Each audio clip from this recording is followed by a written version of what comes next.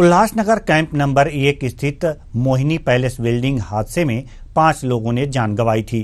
तो वहीं camp number दो स्थित साई शक्ति इमारत हादसे में सात लोगों की मौत हुई थी। मई माह में पंद्रह दिनों के अंतराल में दोनों हादसों के समय ठाणे जिला पालक मंत्री एकनाथ शिंदे ने दौरा कर मृतकों के परिवारों को पाँच पाँच लाख के मुआवजे की घोषणा की थी, लेकिन छह माह गुजरने के बाद भी मृतकों के परिजनों को मुआवजा नहीं मिला।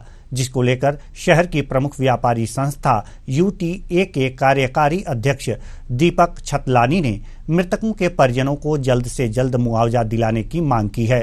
उन्होंने ट्वीट कर पालक मंत्री एकनाथ शिंदे को इसे अवगत कराया।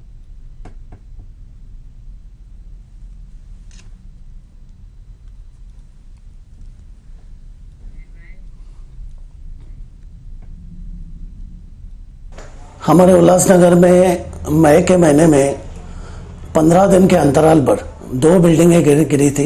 एक मोहिनी पैलेस और साई शक्ति बिल्डिंग। उन दोनों बिल्डिंगों में बारह लोगों की मृत्यु हुई थी और उस समय हमारे जो पालक मंत्री हैं, श्री एकनाथ शिंदे जी, दोनों हादसों के समय उन्होंने विज़िट किया था और उन्होंने घोषणा की थी कि हर मृतक को पाँच लाख रुपया महाराष्ट्र सरकार की तरफ़ से मुआवजा दिया जाएगा।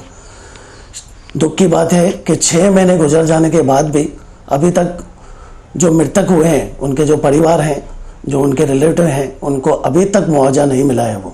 उन्होंने अपनी पूरी फॉर्मेलिटी पूरी की है।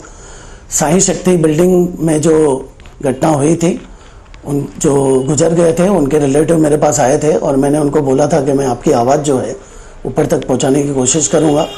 मैंने शिंदे साहब को ट्वीट भी किया है और पहले भी मैंने मांग की है कि जल्द से जल्द उनको मुआवजा मिले।